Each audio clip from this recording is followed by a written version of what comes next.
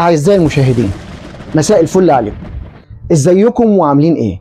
النهارده بقى جايب لكم كده تليفون فانتازيا تليفون شياكي قوي اللون بصراحة الأرجواني بتاعه أو اللون اللي هو النبيتي ده هيعجبكم قوي اللون اللي هو دم الغزال ده. التليفون اللي معانا النهارده هو ال Oppo ال F 25 أو 25 ال Pro الجديد.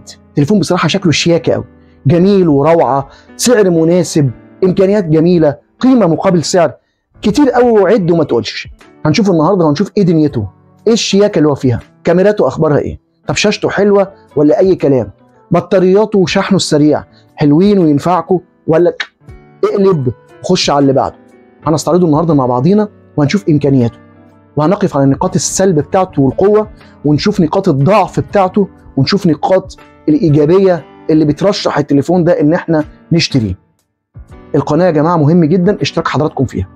يوم ورا يوم بتزيد بفضل ربنا ثم فضلكم أنتم. عايزين نوصل بقى ل 100000 مشترك في خلال شهرين. يلا بقى شجعوا الواحد يا أخي. المهم هنستعرض مع بعضنا التليفون ونشوف دنيته أخبارها إيه. يلا مع بعض نستعرض ونراجع التليفون اللي معانا النهارده اللي من شركة أوبو الشياكي قوي وهو الأوبو الإف 25 أو 25 Pro الجديد.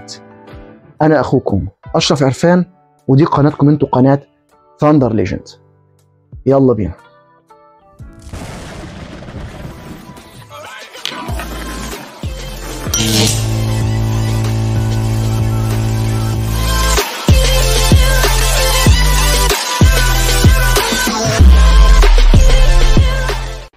أعزائي المشاهدين في كل مكان إزيكم؟ أخباركم إيه؟ يا رب تبقوا بخير.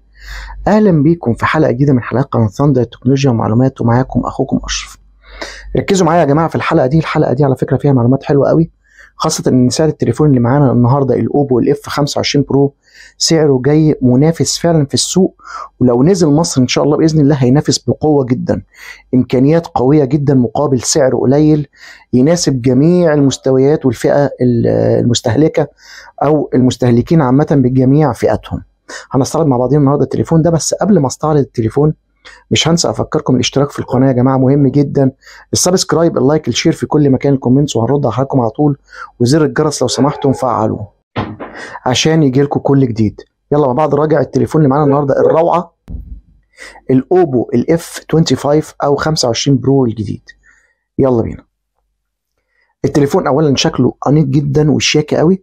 مستطيل الشكل مع دائرية الحواف وعدم حديتها مع وجود آآ آآ الكاميرا السيلفي في المنتصف الأعلى والشاشة بتيجي flat من الأمام والظهر برضه flat مفيش خالص curved من الظهر كلمة Oppo في المنتصف عرضي في الأسفل من الأعلى على الشمال شكل كده مستطيل بارز شوية أو بروز شكل مستطيل كده بحاجة بسيطة وفي دايرتين الدايرتين دول اللي فيهم الكاميرات وعلى يمينهم موجود الفلاش. آه الحواف بتاعته كلها مصمطة بالكامل. ال bezels بسيطة جدا على مستوى الحواف في الشاشة. نيجي بالنسبة لتاريخ الإعلان أعلن عنه في 29 فبراير 2024 ابتدى يطرح للبيع في 4 مارس 2024 أما عن أبعاد التليفون دوت 161.1 في 74.7 في 7.5 ملم تليفون رفيع ويعتبر رفعه دوت حاجة ميزة ليه جامدة جدا. الوزن المقدر للتليفون ده 177 جرام. التليفون مهيأ إنه ياخد شريحتين من نوع النانو ولكن مش مجهز بال electronic SIM أو ال eSIM. المعيار اللي بيجي بيه ال IP 65 أو 65 المضاد للمية والرذاذ بتاع المية والأتربة. أما بالنسبة للشاشة فالشاشة بتيجي من نوع ال AMOLED مليار لون ال refresh بتاعها 120 هرتز ومعدل عينة اللمس 3600 هرتز. مجهز بال HDR 10 plus وال nits بيوصل ل 1100 nits يعني درجة وضوح روعة في قلب الشمس أو في قلب الإضاءة العالية.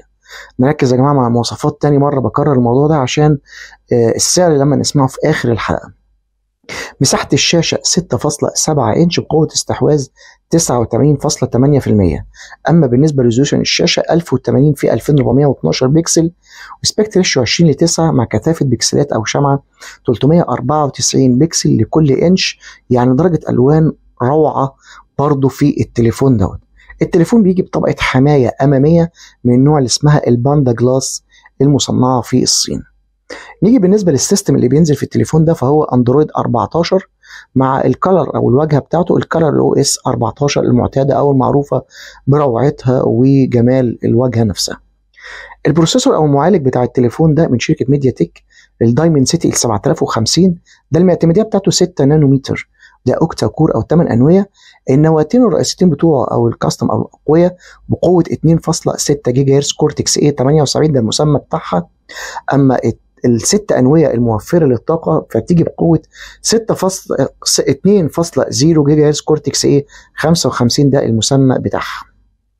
التوليفة الروعة دي بيدعمها كارت GPU أو رسوميات من النوع ال Mali ال G 68 MC 4 التليفون ده بقى فيه ميزة روعة جدا إنه بياخد كارت memory لغاية 1 تيرا وبينزل بذاكرة اما 128 جيجا بايت أو 256 جيجا بايت من النوع ال UFS 3.1 التليفون دوت بيجي برامات 8 جيجا بايت RAM للذاكرتين ولكن طبعا قابل للزيادة systematic ب 8 جيجا بايت RAM أخرى. أما بالنسبة بقى للكاميرات فبيجي بثلاث كاميرات روعة. في الظهر الكاميرا الرئيسية بقوة 64 ميجا بكسل فتحه عدسه 1.7 كاميرا روعة جدا بمقياس رائع. بتيجي مدعمه بال PDAF وال OIS التثبيت البصري أما الكاميرا ال ultra wide أو الزاوية العريضة فبتيجي بقوه 8 ميجا بكسل فتحة عدسة 2.2 ودي بتدعم ال PDAF. أما الكاميرا ال macro فبتيجي بقوه 2 ميجا بكسل فتحة عدسة 2.4 التوليفه الروعه دي بيدعمها ال LED flash. بيدعم تصوير HDR بالبانوراما والفيديو ركزوا كويس. الفيديو بيجي بقوة تصوير 4 K بفريمات 30 frame per second. الكاميرا الأمامية برضو روعة جدا لأنها بتيجي بقوة 32 ميجا بكسل فتحه عدسه 2.4 بتدعم ال PDAF وبتدعم تصوير بانوراما وخدوا بقى القوة بقى في دي إن تصوير الفيديو بيوصل ل 4 K ب frame 30 frame per second يعني معنى كده إن التليفون ده تقدر تصور بيه محتويات وتقدر تصور بيه حاجات على أو فيديوهات تقدر ترفعها على ال social media وتديك قوه صورة روعة. التليفون ده ال loudspeaker بتاعه بيجي من نوع ستيريو من الأسفل ومن الأعلى ومفيش مكان لتركيب ال jack ال 3.5 وحدات ال communication روعة الواي فاي بيجي ب dual band بأحدث حاجة. ال Bluetooth ب version متأخر شوية لأنه 5.2 ال GPS dual band ال NFC مش موجود. ال infrared هو اللي موجود لكن الراديو مش موجود وال USB من نوع ال Type-C 2.0 وبيدعم ال OTG. بصمة التليفون دوت أسفل الشاشة optical وبتيجي فيها جميع ال sensors الموجودة في جميع التليفونات. أما بالنسبة للبطارية فالبطارية من نوع الليثيوم كبيره 5000 ملي أمبير وبيجي معاها شاحن سريع 67 واط بنظام ال power delivery 2.0 وال quick charge 3 وبيشحن من 0 ل 100% في 48 دقيقة. أما الشحن العكسي فبيبقى عن طريق الكيبل. التليفون ده بقى بيجي منه اللونين الروعة لا إما ال blue اللي بيسموه ال ocean blue شكله شيك قوي إحنا شايفينه في الصور أو ال lava red أو الشكل اللي هو الارجواني أو اللي بنقول عليه دم الغزال. سعر التليفون ده وقت تسجيل الحلقة كان حوالي عامل 290 دولار يعني تقريبا بنتكلم في حوالي في 14000 جنيه ونص سعر قليل قصاد الإمكانيات الضخمة اللي إحنا شايفينها. سلبيات التليفون كالآتي. اولا هو مش مدعم ليه إن هو يركب فيه أو يركب فيه يعني electronic أو eSIM. بالنسبة للرامات الرامات بتاعته قليلة. يعني أقصى حاجة 8 جيجا بايت RAM ما بيجيش أعلى من كده. الثلاث كاميرات الموجودين أعلى واحدة فيهم اللي هي 64 ميجا بكسل كان المفروض برده كان يبقوا الباقي مثلا 50 و60 أو ميجا بكسل يعني.